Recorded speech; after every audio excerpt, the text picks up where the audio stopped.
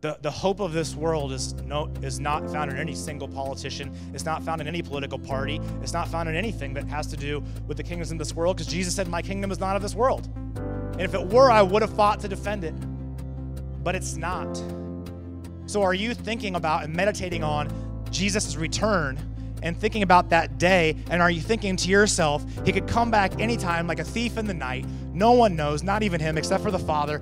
And as such, I better have my lamp lit and I better be ready and I better be telling as many people about Jesus as I possibly can. And when he comes back, what I want him to see, what I want him to find is that I've been pouring myself out for him, that I've been setting an example for others in speech and conduct and love and faith and purity, that I haven't been toeing the line, that I've been going after his kingdom that I've been seeking with everything that I have to please Him. And look, He loves you. So it's not a matter of like you need to earn His love. What I'm talking about is you recognize that He loves you so much, and the only way you can love Him in return is just like, I have to give you everything. You gave me everything. How can I not give you everything back? Because you're, you're motivated, like Paul says, we're compelled by love to do these things? Or are you focused on politics and thinking that a policy change is going to change a heart? It's not going to. The only thing that changes hearts is the Holy Spirit.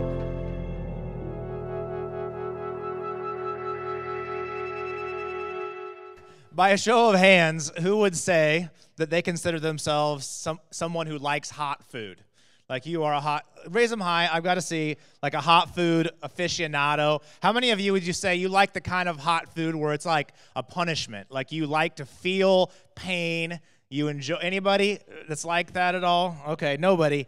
Has anybody ever here, here ever done this? Has anybody here ever done the one chip challenge? Do we have anybody that's done it? I can't quite see. No, nobody. Okay, it's if you've never seen it in the store, it's $4.99 and you just get one chip.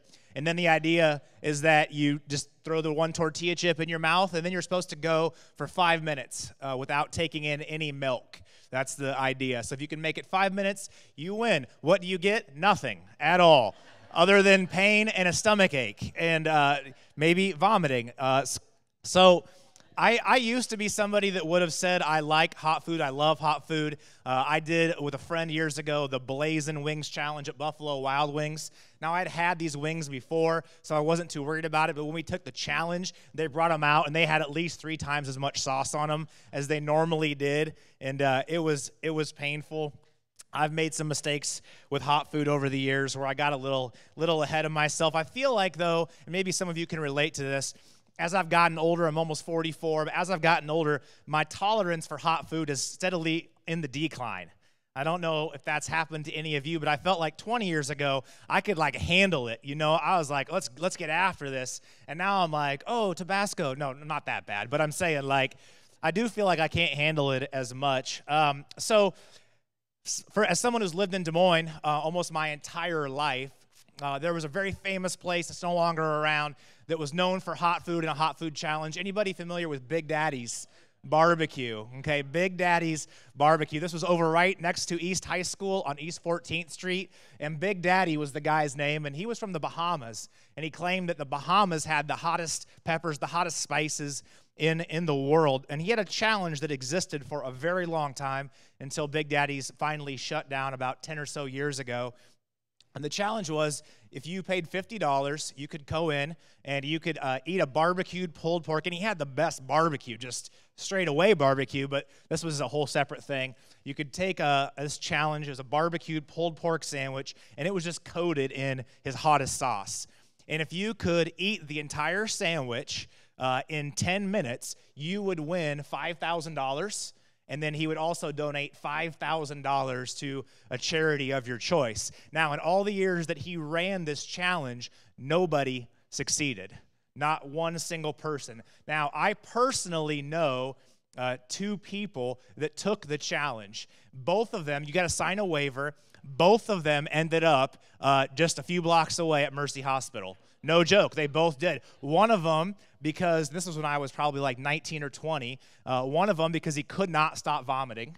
He just couldn't. He was doing popsicles and milk there, and he just couldn't stop. And so he was in the hospital for three days.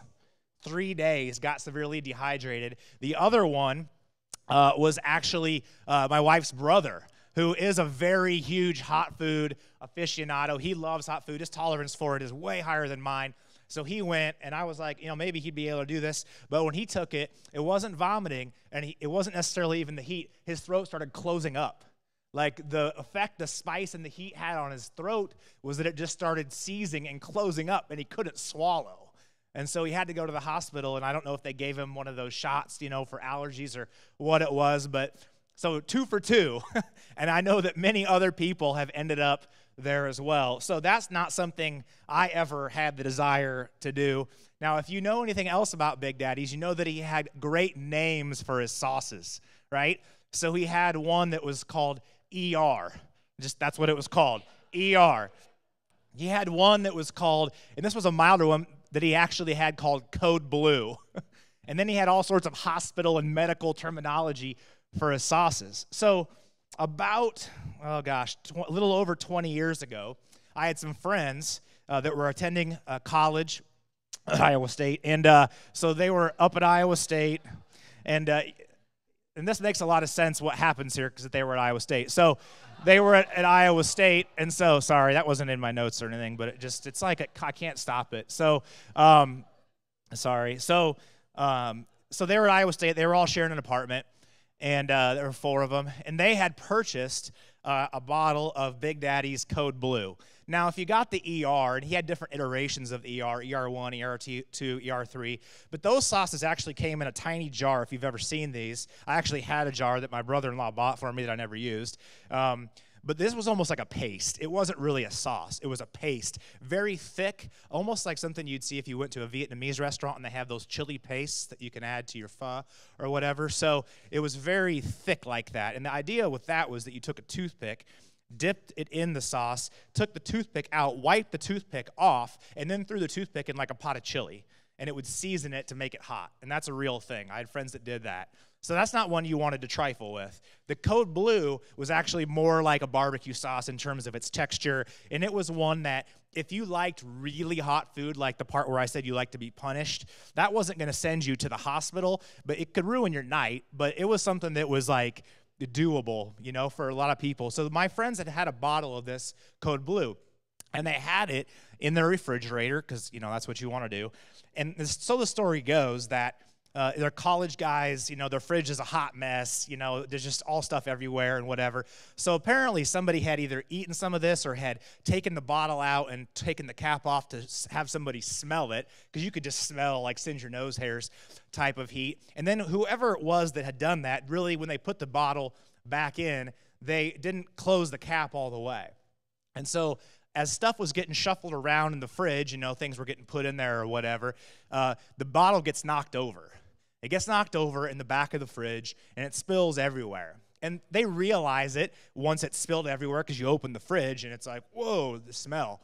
And so, of course, they clean the stuff that's out in the fridge in front of it, and you've got all this, you know, code blue hot sauce spilled all over barbecue sauce, hot sauce, whatever you want to call it. So, one of my friends takes uh, some paper towels and now you guys were college students, poor college students. My guess is they didn't buy like the really good Brawny, you know, like paper towels. It's like those ridiculously thin ones that like tear when you even try to like pull them apart. He took those and he just went in there, you know, and like did one of these and threw, threw them away and did one of these and threw them away and got it as clean as he could. Put everything back. It's fine. Well, he didn't even think about it because he had paper towels, but he forgot to wash his hands. And so he was hanging out and, you know, whatever. How do I say this on a Sunday morning? So let's see. He, he, the day went on a little bit and he sat down to watch some TV and he did one of those things that young guys might do when they're watching TV, just the, the, the old Al Bundy, if you know what I mean, when they're sitting down and watching television. He kind of just took his hand and was like relaxing I think hopefully you, you, talk to me after if you don't understand what I'm saying. So he took a he just was relaxing, and it was a problem. It became a big problem in a hurry, and uh, the story goes that one of my other friends, his his roommate, was in the shower at the time, and he did not care. he was like went in the shower threw back the shower curtain basically told his, my friend his, his roommate to get out jumped in with cold water and uh, yeah, relieved some of the searing, burning pain. So, we are in a series.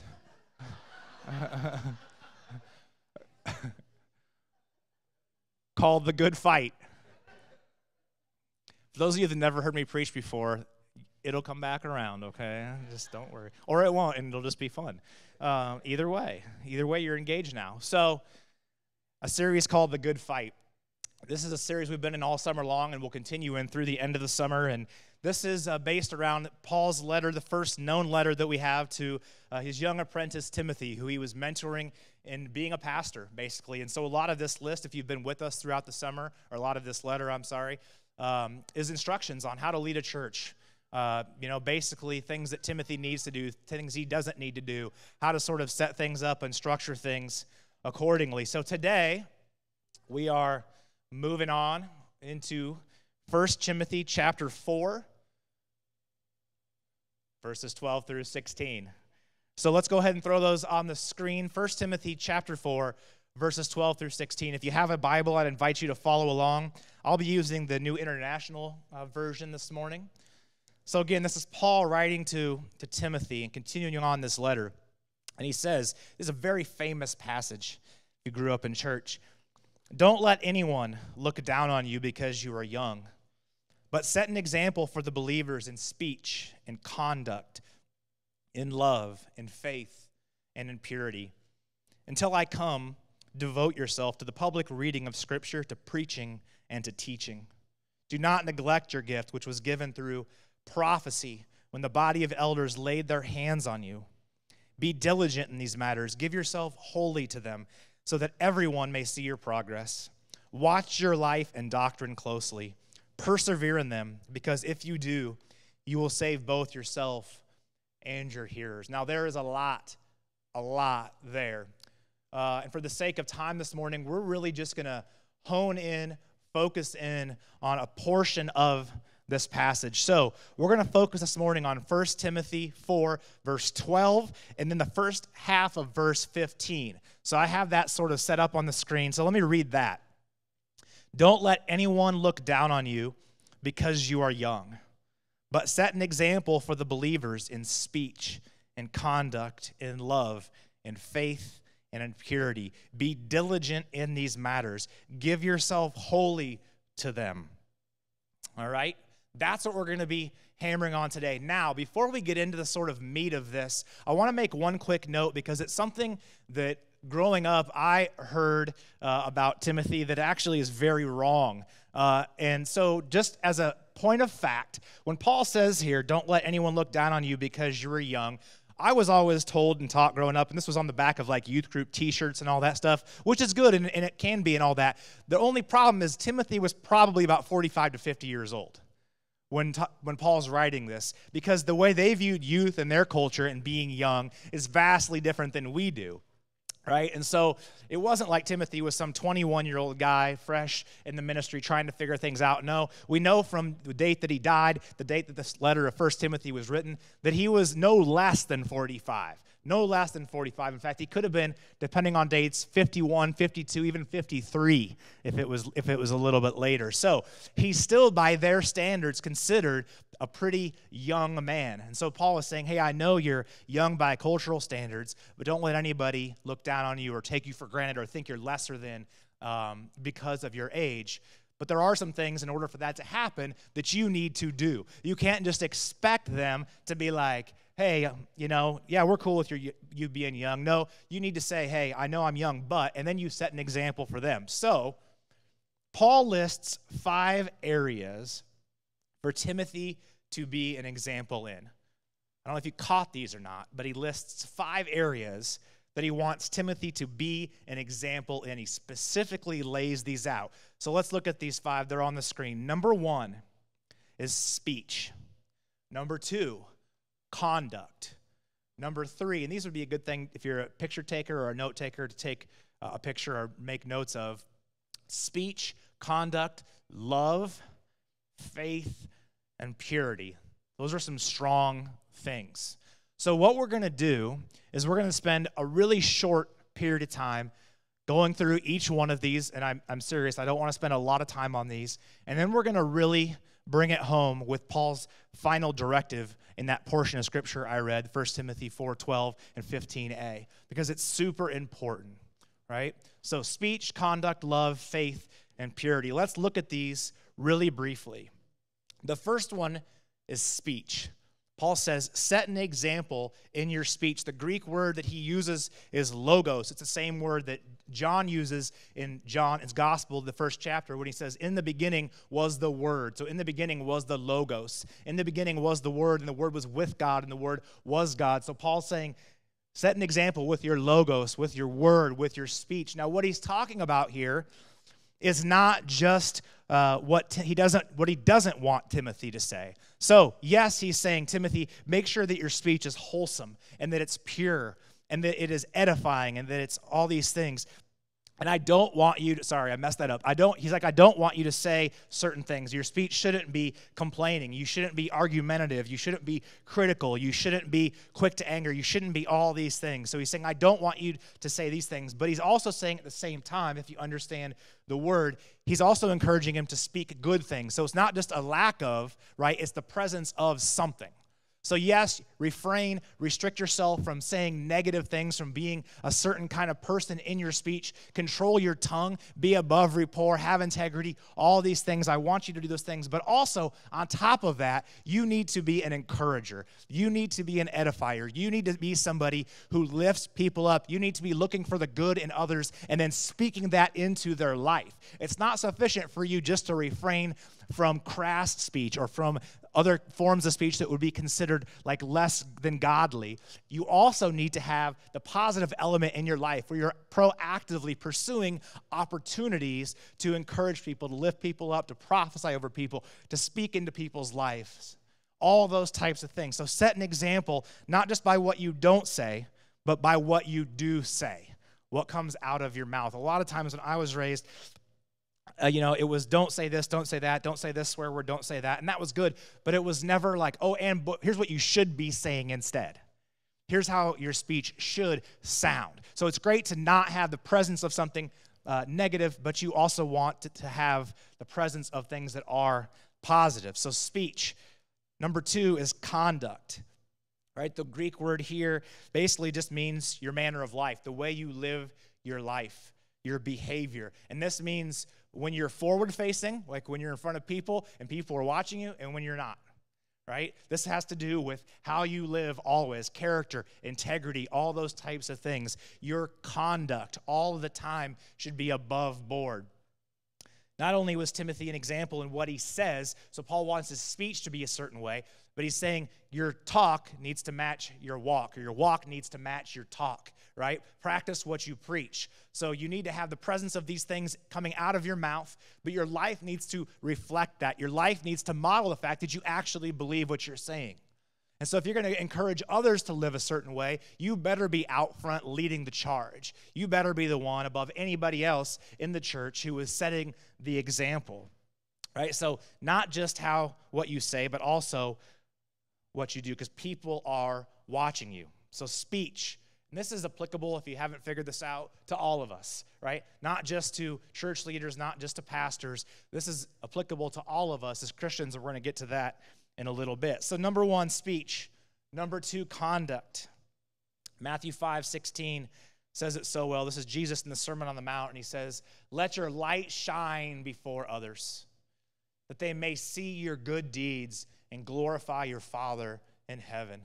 So Jesus has no problem, right, with us letting our light shine before others. Now, obviously, he speaks harshly to the Pharisees who were letting it wasn't their light that was shining. They were just doing it to show off, to impress others. It was a lot of self righteousness. He's saying your motivation, the place that this is all coming from, the, the posture of your heart is all messed up. You're doing these things only for human recognition, for human approval, that's not how you should do it. But we take that sometimes to an extreme and we're like, oh, we're not supposed to do anything because I don't want to be like a Pharisee. But that's not what he's saying.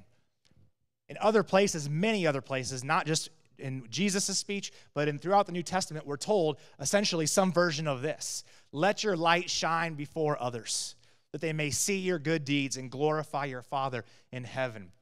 Live godly lives where your light shines. Emily used a quote last week in her sermon from Dietrich Bonhoeffer where he said, We should live such amazing lives, right, that it makes people question their disbelief in God. It's okay to let your light shine, to be an example in speech and in conduct. The way we live, the things we do, are a light to the world around us. So, those are the first two. Number three is love. So, speech, conduct. Number three is love. And this is the word agape. If you remember at the beginning of this series, to kick it off, I preached on agape love. You could, I'd encourage you to go back and check out that message. If you haven't, this is a deep level of brotherly love, affection, goodwill, all these things. Here's the truth as we go through these. Here's the truth people aren't impressed by hearing about God's love as much as they are by seeing it. Right? People aren't as impressed by hearing about God's love as much as by seeing it. This is what James talks about. He says, Don't just be hearers of the word, but be doers of the word. Right? And there's a, multiple reasons for that, but one of them is that the classic cliche, but it's so true, is that actions speak louder than words. John 13, 34 through 35, Jesus says this A new command I give you love one another.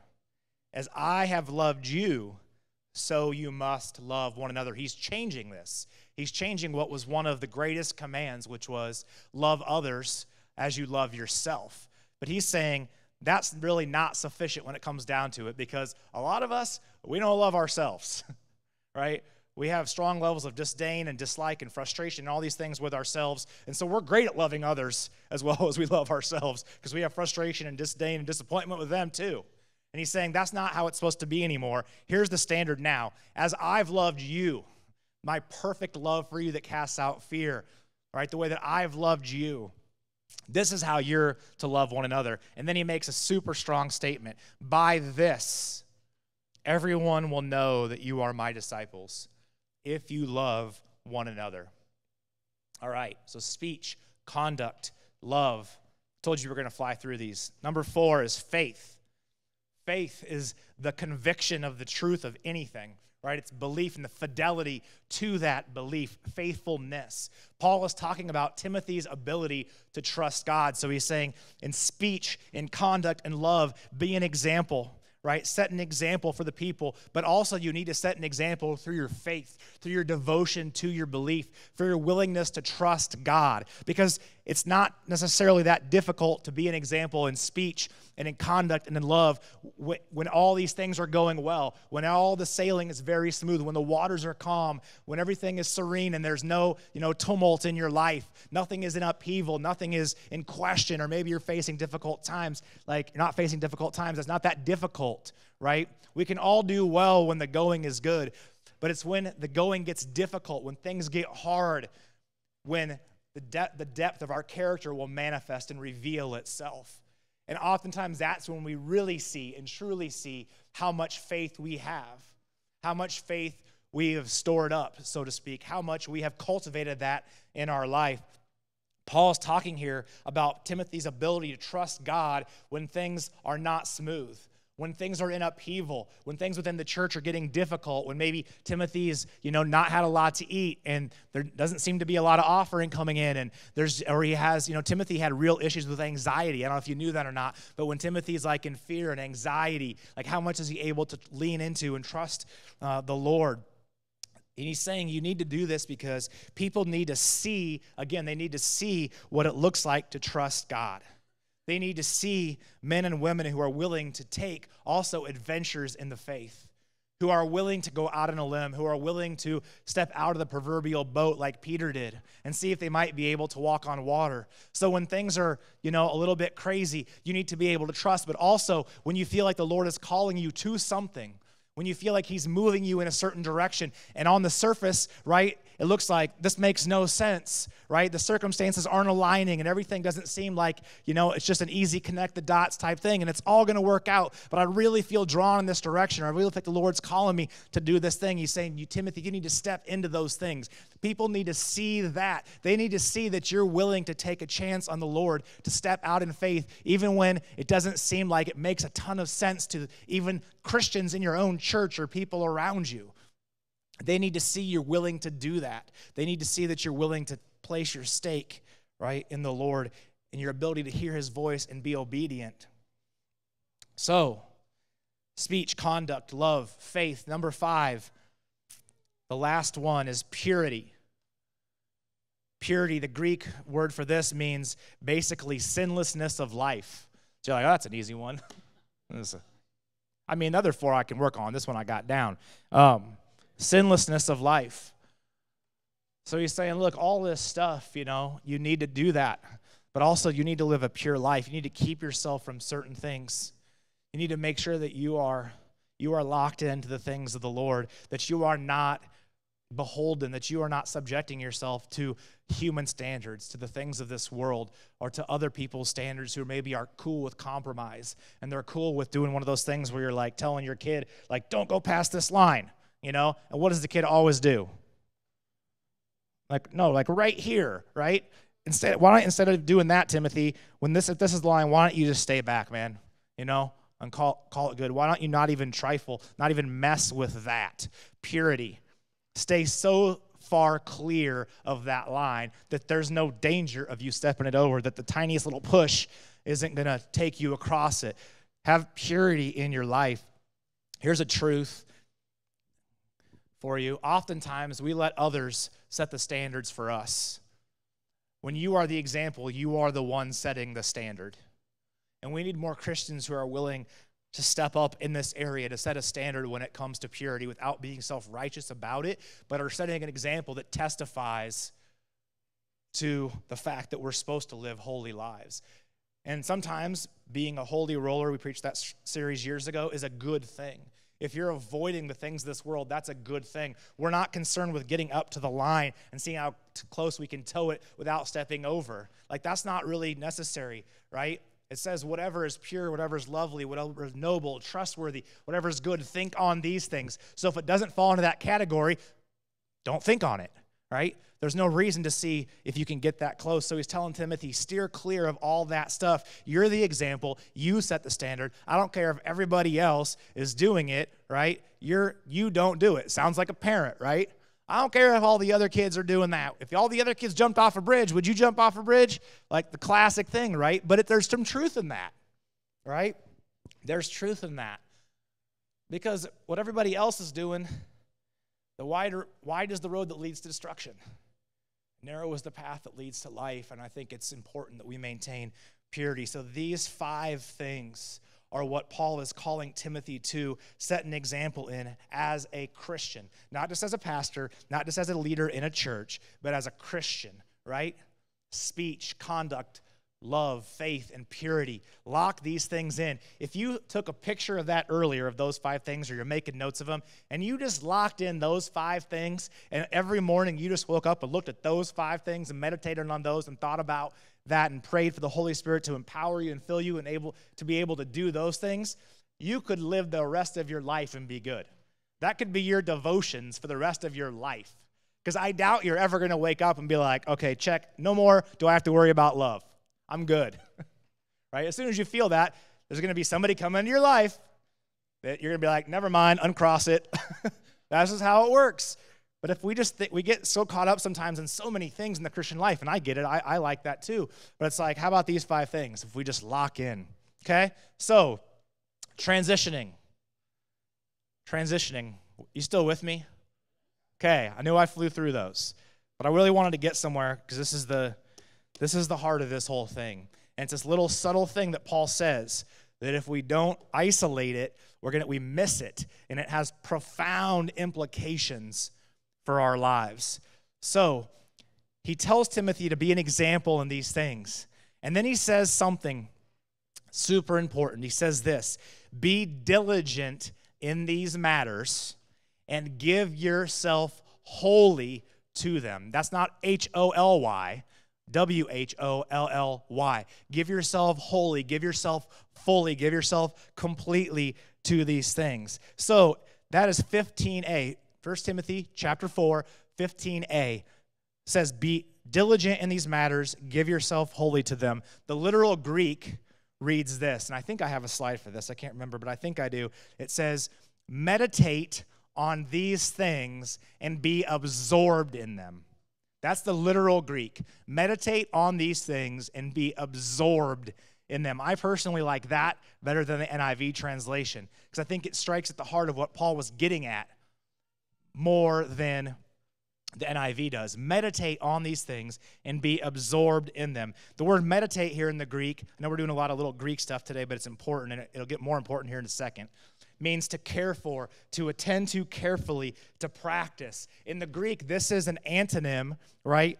Of an it's an opposite word that in, tra- in the Greek is translated neglect. So this is literally the antonym for the word that's translated neglect. So whatever it looks like to neglect something, this meditate on is the complete opposite. So imagine when something is neglected. If your yard is neglected and you've got weed trees this high and the grass has gone to seed and there's snakes' nests everywhere and all that kind of stuff, it's just been neglected. Maybe you have neighbors that have yards like that. I don't know, but it's like crazy. So, whatever the opposite of that is, right? That's what Paul's saying that we're supposed to do when it comes to these five things meditate, to tend to carefully. So you're making sure the yard is cut evenly. You're making sure there are no weeds. You're spraying for other weeds. You're weed whacking. You're making sure you're blowing grass out there. You're trimming everything. You're making it look nice. The landscaping is good, right? You're locked into it. Instead of being apathetic about these five things, we are to care for them, to practice them. We are to tend to them carefully. We are to give them our attention. We are to make sure that it doesn't get overgrown and the weeds don't spring up and it doesn't get out of control.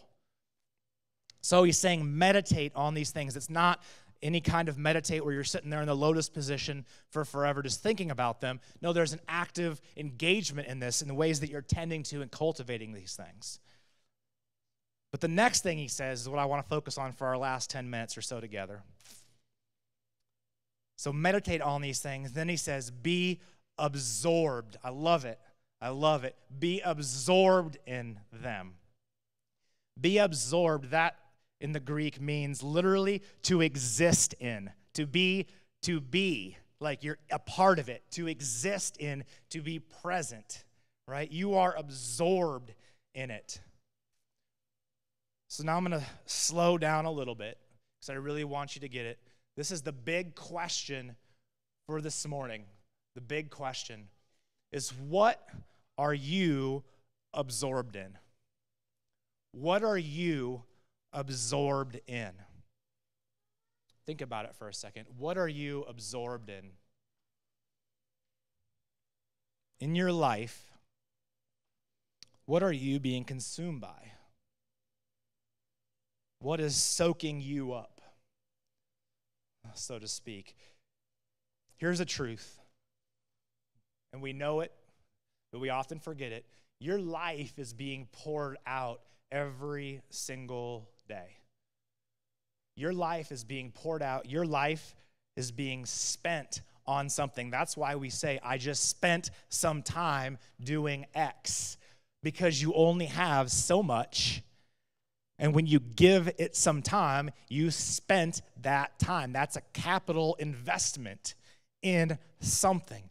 Your life is being poured out every single day. I used uh, this with the youth group uh, towards the end of the year, and I had a bottle of water. I was almost going to do it this morning, but and I just was pouring it out as I was talking. Like this is your life, and you have this much, and every day, no matter what you do, you're pouring it out. If you spend eight hours on your phone, you just poured some out. If you spend time, and I'm not saying you shouldn't have fun, but it's being poured out. And we're all incredible worshipers, whether you like it or not, whether you think you are or not, we're all incredible worshipers. We're all worshiping something, I promise. It wouldn't take me long to figure out what you worship if I spent a little bit of time with you, and vice versa. But the more important question as you think about what am I being absorbed in is if Jesus spent a week with you, Right? If Jesus spent a week with you 24 7 for seven days, what would he see?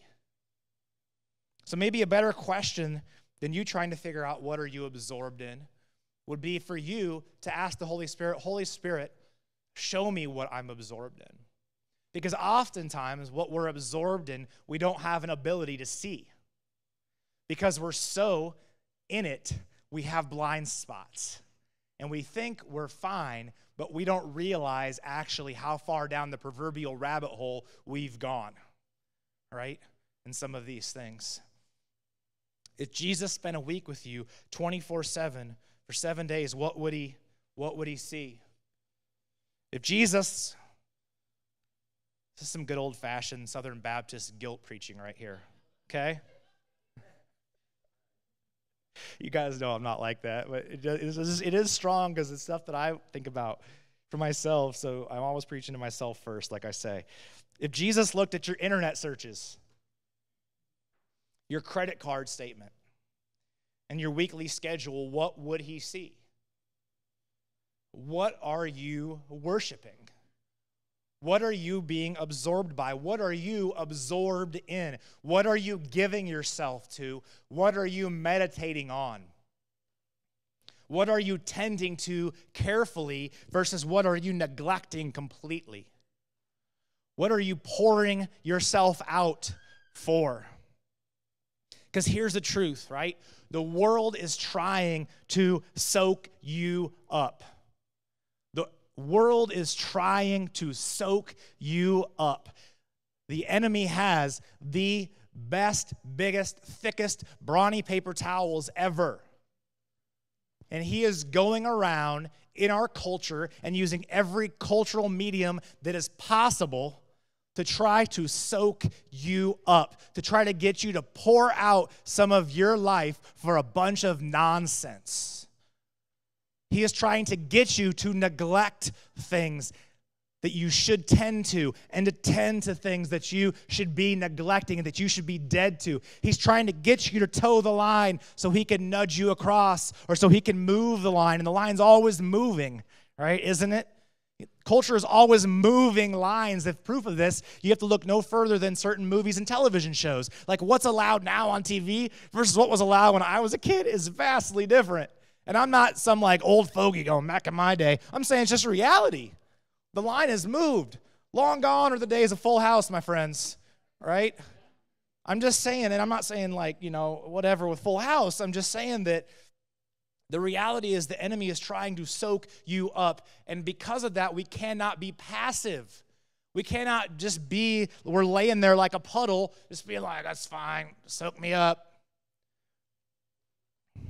Are you allowing yourself to be absorbed by the world? Where are you captive?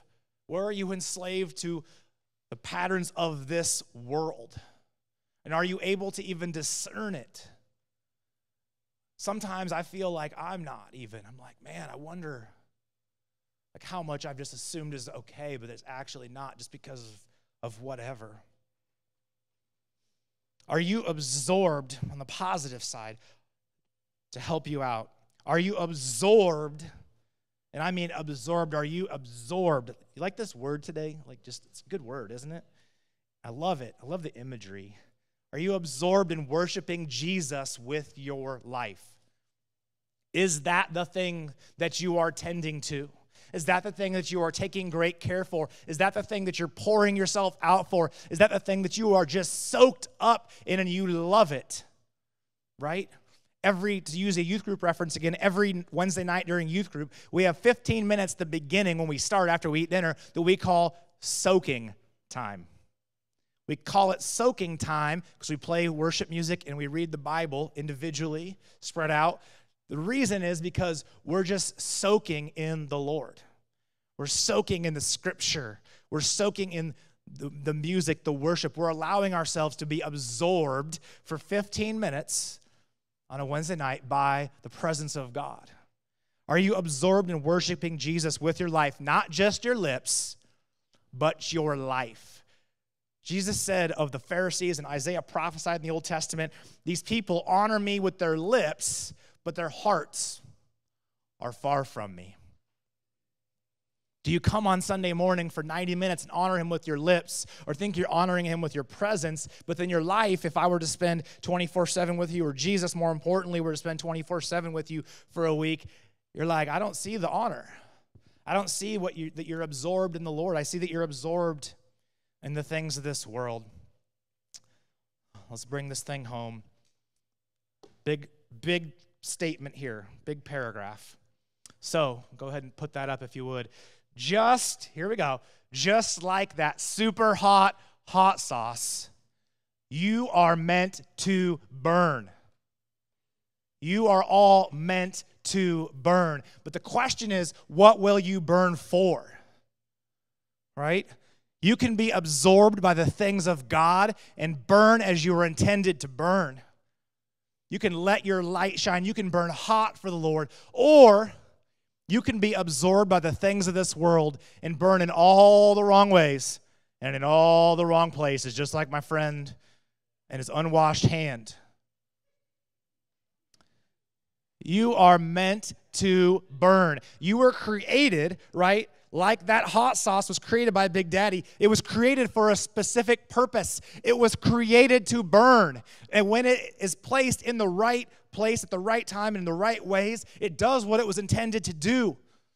But if it's spilled in the wrong place, and then it's absorbed wrongly, and it's placed in the wrong place, it will burn in all kinds of inappropriate and unintended and destructive and hollow and pointless ways that cause pain. So the question is, how are you going to burn? Because you are going to burn one way or another. Are you going to be absorbed in the things of Jesus, or are you going to be absorbed in the things of this world?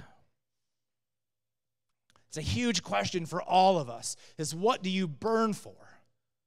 What gets you out of bed in the morning? What keeps you awake in all the best ways at night because you're excited about something the Lord's doing in your life or it's the life of somebody you've been ministering to?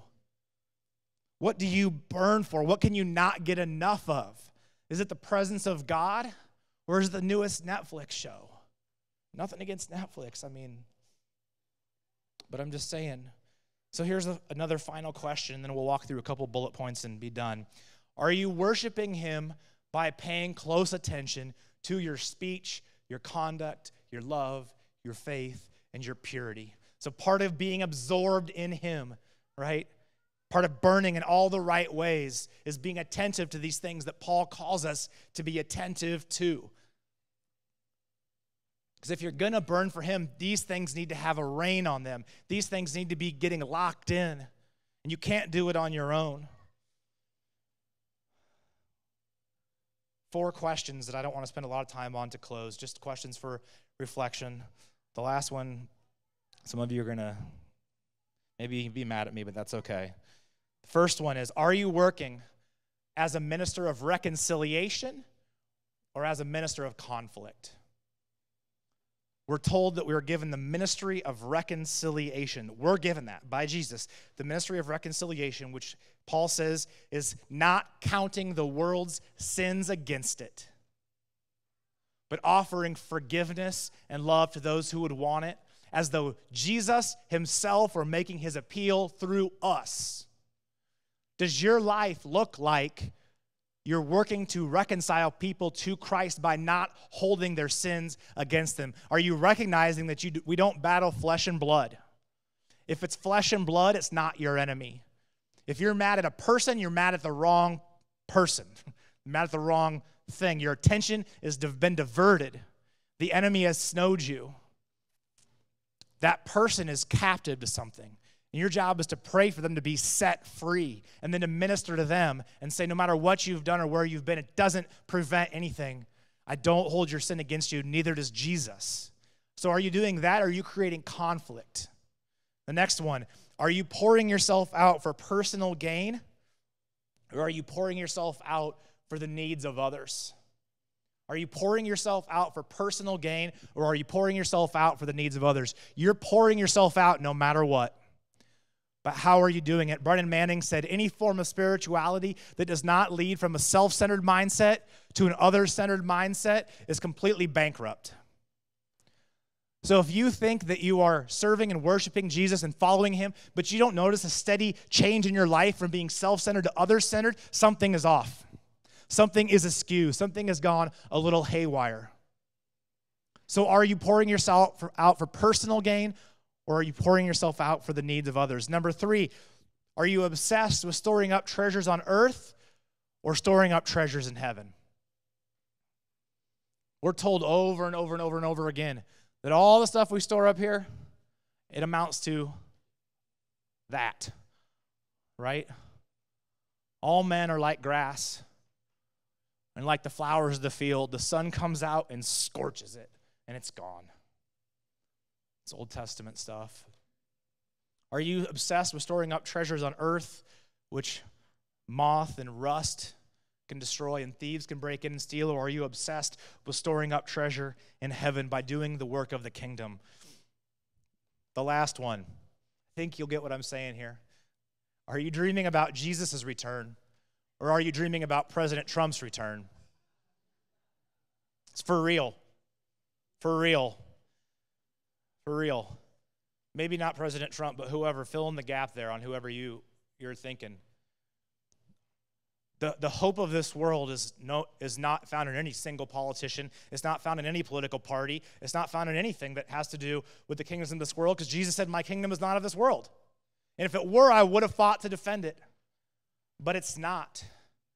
So are you thinking about and meditating on Jesus' return and thinking about that day, and are you thinking to yourself, he could come back anytime like a thief in the night? No one knows, not even him, except for the Father. And as such, I better have my lamp lit and I better be ready and I better be telling as many people about Jesus as I possibly can. And when he comes back, what I want him to see, what I want him to find is that I've been pouring myself out for him, that I've been setting an example for others in speech and conduct and love and faith and purity, that I haven't been toeing the line, that I've been going after his kingdom that I've been seeking with everything that I have to please Him. And look, He loves you. So it's not a matter of like you need to earn His love. What I'm talking about is you recognize that He loves you so much, and the only way you can love Him in return is just like, I have to give you everything. You gave me everything. How can I not give you everything back? Because you're, you're motivated, like Paul says, we're compelled by love to do these things. Or are you focused on politics and thinking that a policy change is going to change a heart? It's not going to. The only thing that changes hearts is the Holy Spirit. That's it. End of story.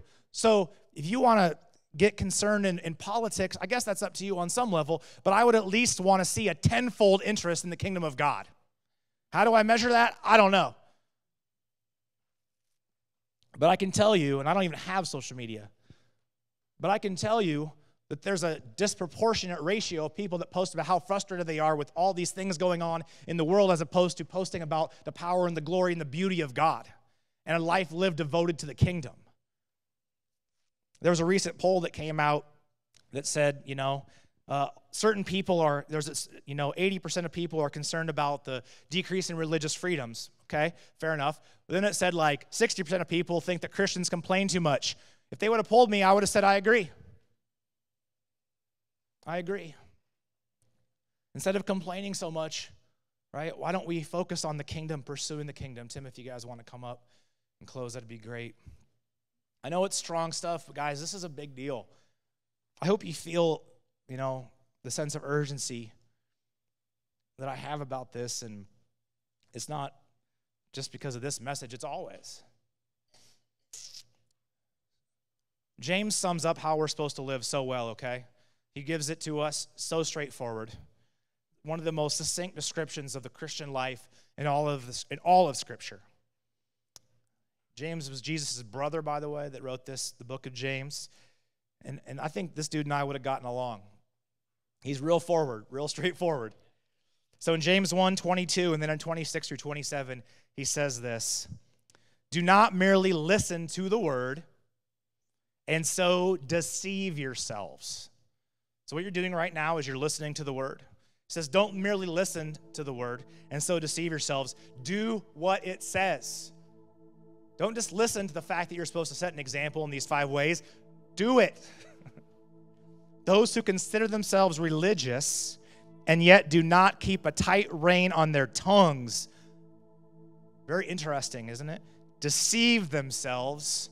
So twice he said, You're deceiving yourself. And their religion is worthless. It's worthless. Then he says, Religion that God our Father accepts. So that means there's some that he doesn't accept. Religion that our God our Father accepts as pure and faultless as this.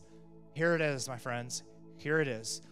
To look after orphans and widows, and you can substitute whatever marginalized, outcast, disenfranchised people group you want. That was in their day the most on the edge, in need, desperate people groups. To look after orphans and widows in their distress and to keep oneself from being polluted by the world.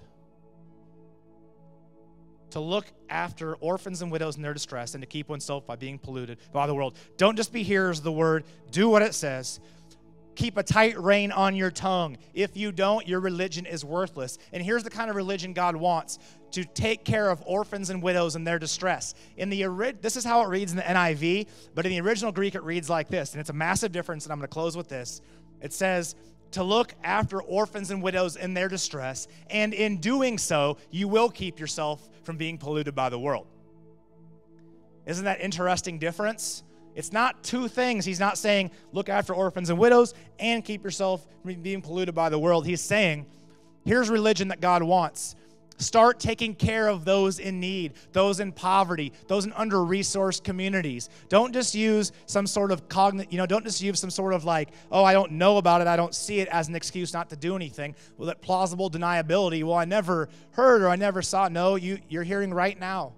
He's saying, take care of these people, and in doing so, you will keep yourself from being polluted by the world. Because you'll be spending so much time ministering to others and focusing on the needs of others and caring for others and loving them and you'll be transformed. There's a symbiotic relationship there. And when that happens you'll keep yourself from being polluted by the world because the things of the world will become just nonsense to you. You'll be like why would i want a bigger this or a bigger that or more of this or more of that? Because look over here what are you being absorbed by are you being absorbed by the world or are you being absorbed by what Jesus and Scripture says is pure and faultless religion? What are you burning for? Are you burning in the ways you were created to burn?